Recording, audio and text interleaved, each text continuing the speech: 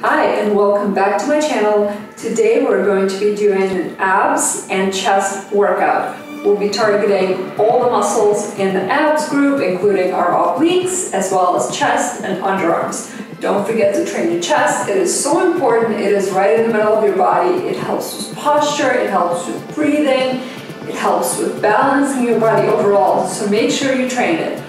Today we'll be alternating between abs and chest exercises. So this is going to be a tough one. Don't forget to grab your dumbbells. I'm going to be using 10 pounds. Take breaks whenever you need it. Make sure you just stop the video and take a moment whenever you need it. This workout is certainly tough to complete without breaks, but we're going to give it a try. All right, are you ready? Let's do this.